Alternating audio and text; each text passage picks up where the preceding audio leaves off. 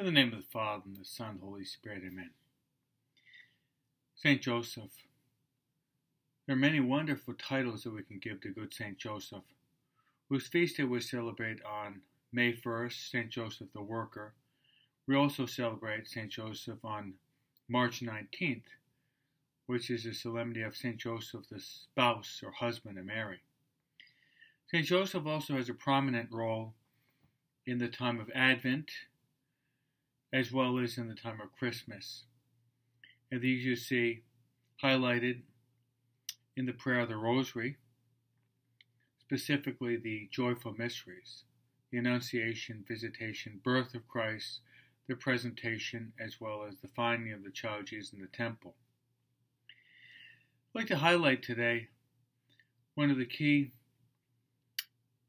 roles of St. Joseph when he lived, but also now as he is in heaven with the Father, the Son, the Holy Spirit, Mary, the angels, and the other saints.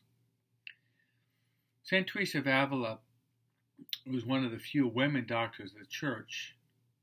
Says that St. Joseph is the patron of the interior life. What she means about this means by this phrase is that St. Joseph is the model and inspiration for our prayer life. We don't have one word of St. Joseph in the Bible. His silence was very eloquent because by his silence he was able to listen to God. He was able to listen to the inspirations. God was able to speak to him. He listened very attentively. And he was very docile to God's message. More than once, St. Joseph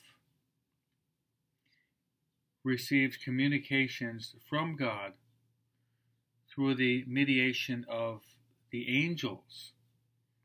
For example, when he's thinking about divorcing Mary because he sees her pregnancy and he does not know how how that has come about, the angel appears and says, Do not be afraid, Joseph, to take yourself Mary, because that which is conceived in her is from the Holy Spirit. Another one is when St. Joseph is called to get up and to flee into Egypt. The wicked King Herod had decided to kill all the male boys two years and under.